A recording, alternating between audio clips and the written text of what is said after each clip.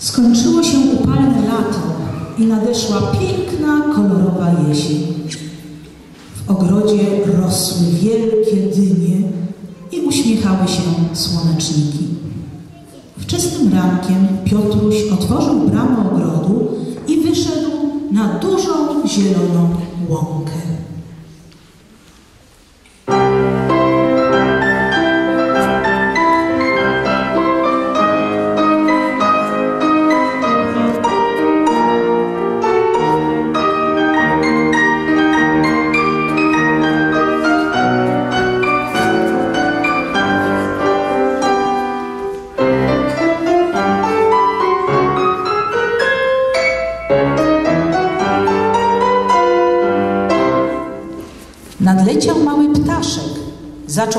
Krążyć nad głową Piotrusia i wesolutko zaświergolił.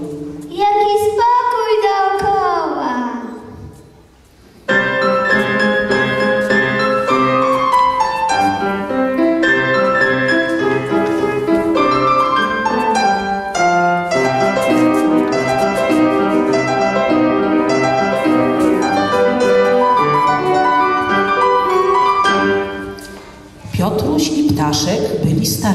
przyjaciółmi. Jak się cieszę, że cię widzę! Co ciekawego ukrywasz w gałęziach? To gniazdo! Mam w nim sześć jaj! O! Zachwycił się nim Piotruś. Kiedy Piotruś i ptaszek radośnie bawili się na łące, koło domu pojawił się inny przyjaciel chłopca. To również był ptak, ale zupełnie inny. Była to zmęczona życiem, trochę zwariowana kaczuszka.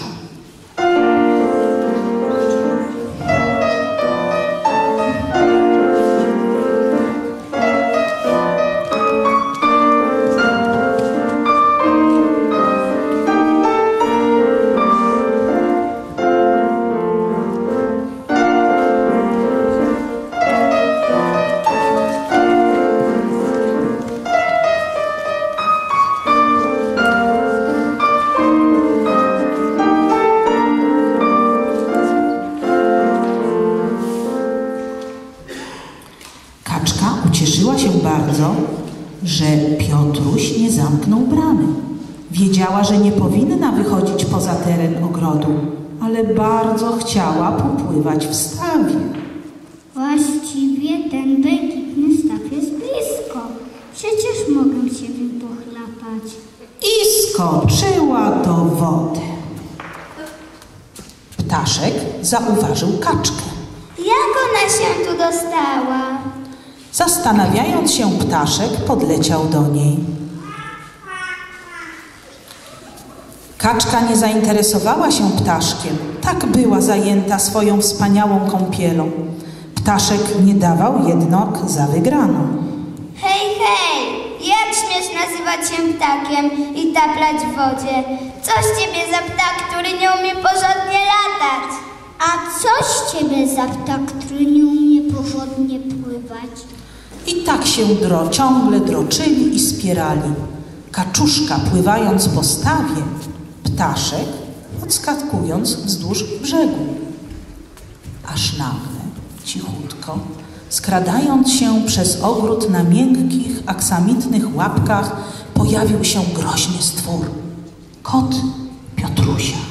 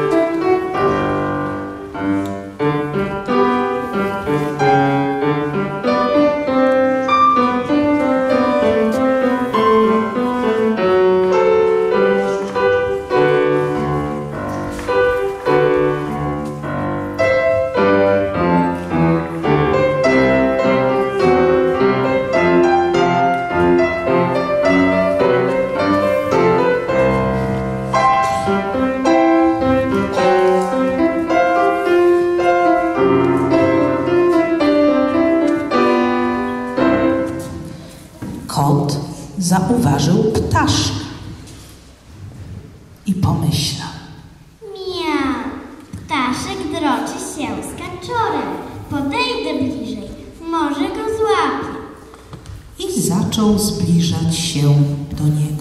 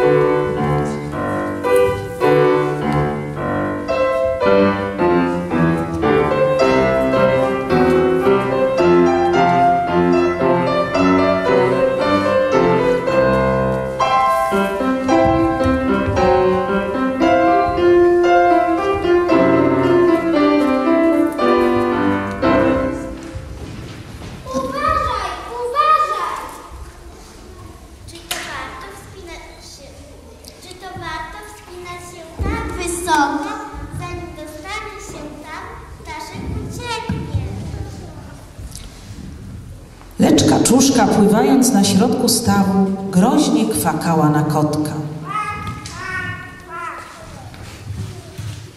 Piotruś, Piotruś! Co ty tam robisz na łące? Piotruś! Nagle, grzmiąc jak stary, zardzewiały puzon, na łąkę wkroczył dziadek Piotrusia.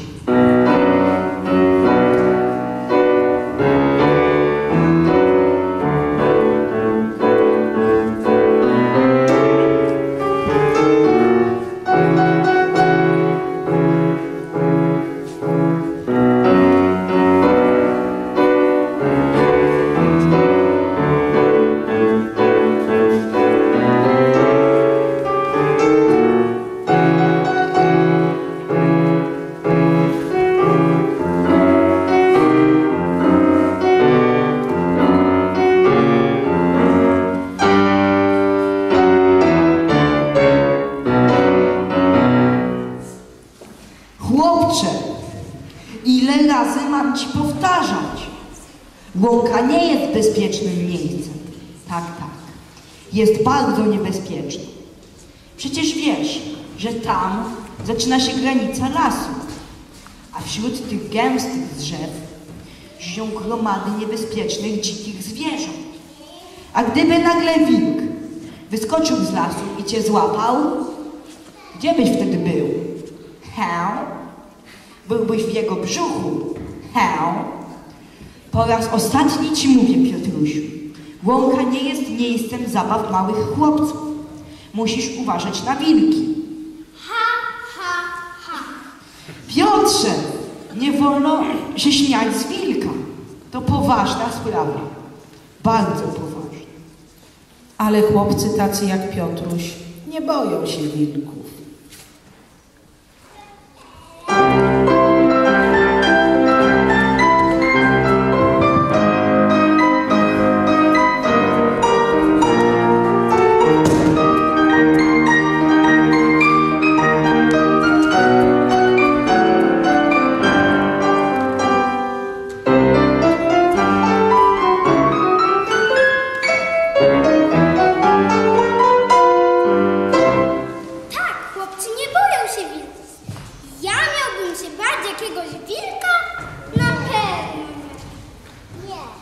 Do kogo mówisz, Piotrze? Żartujesz sobie ze mnie? Dość już tego. Naprawdę dość. Jestem już stary i mam ważniejsze sprawy niż pilnowanie ciebie na łące. Dziadek wziął Piotrusia za rękę, zamknął bramę ogrodu i zaprowadził wnuczka do domu. Ledwo Piotruś odszedł, z lasu wyłonił się duży, szary wilk.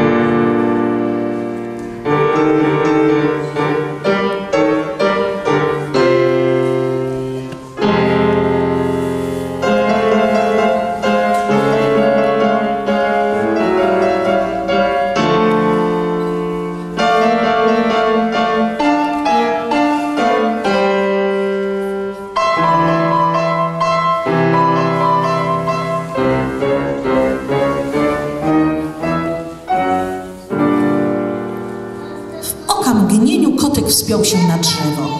Kaczuszka, kwacząc, wciąż zagniewana, a teraz mocno przestraszona, chciała wyskoczyć ze stawu i to zrobiła. Wilk coraz bliżej, coraz bliżej, bliżej, tuż, tuż. I choć starała się uciec, nie zdołała umknąć przed wilkiem. Wilk chwycił ją i calutką połknął. Sytuacja przedstawiała się teraz następująco. Kotek siedział na jednej gałęzi drzewa, ptaszek na drugiej. Nie za blisko kotka, oczywiście. Wilk krążył dookoła drzewa i spoglądał w górę żarłocznym wzrokiem. Wcale nie nasycił się kaczuszką. Na tą scenę nadszedł Piotruś. Bez najmniejszego strachu przyglądał się z bramy wilkowi i temu, co się dzieje. Wiedział, że musi coś zrobić. Pobiegł do domu, Wziął gruby sznur i wspiął się na wysoki mur. Gałąź drzewa, dookoła którego krążył wilk, wystawała poza mur. Uchwyciwszy się gałęzi, Piotruś ostrożnie wspiął się na drzewo i powiedział do ptaszka.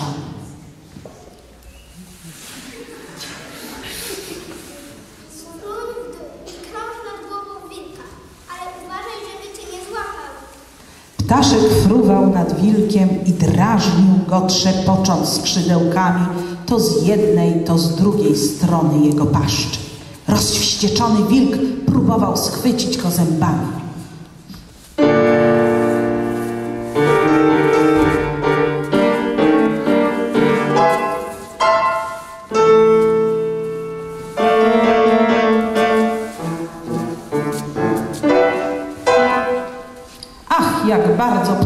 Ptaszek rozzłościł wilka, który kłapiąc zębami nie mógł nic poradzić. Tymczasem Piotruś skręcił lasso i ostrożnie spuścił w dół.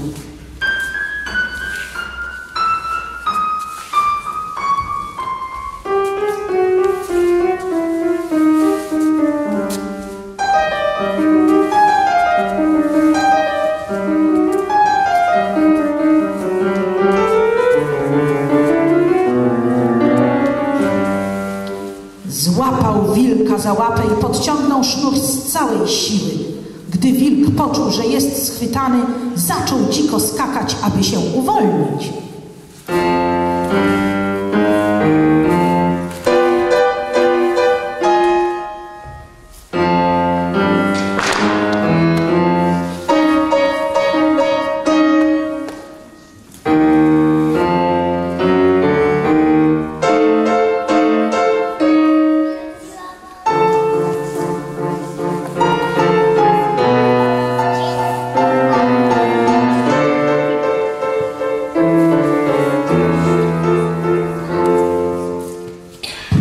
Próby uwolnienia się wilka były jednak daremne, gdyż Piotruś przywiązał drugi koniec sznura do drzewa. Wilk wciąż skacząc, coraz mocniej zaciskał pętlę na łapie.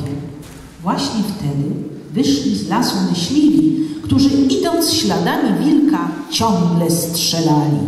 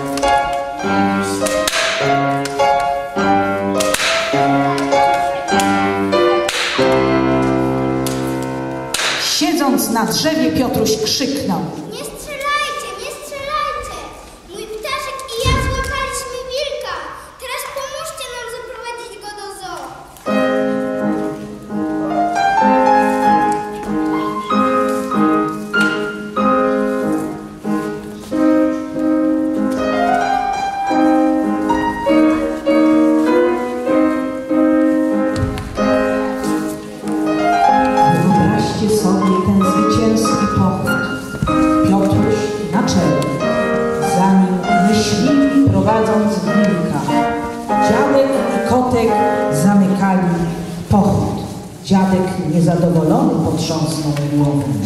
Tak, tak.